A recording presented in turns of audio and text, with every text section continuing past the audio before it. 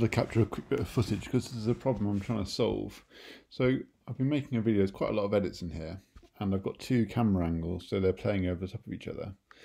For some reason they can play perfectly well at some points but then on other clips it's going dark and this happens all the way through so as you get onto like clips up here they go dark but also clips underneath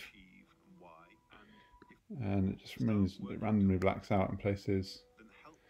Um, then, for example, yeah, just like this the whole time. So I've been trying a different, few different things.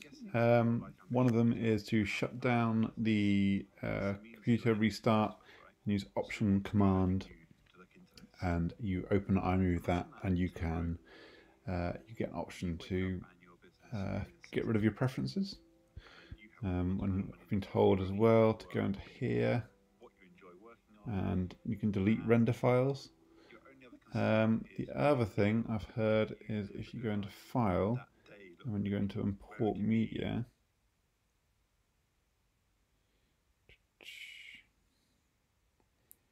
on older ones there used to be a setting about optimizing your footage. Um, but that's not on here on the new one, so that's somewhat irrelevant. Um,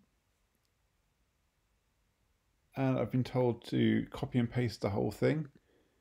So I've tried that and put it into a new document. So edit, um, select all,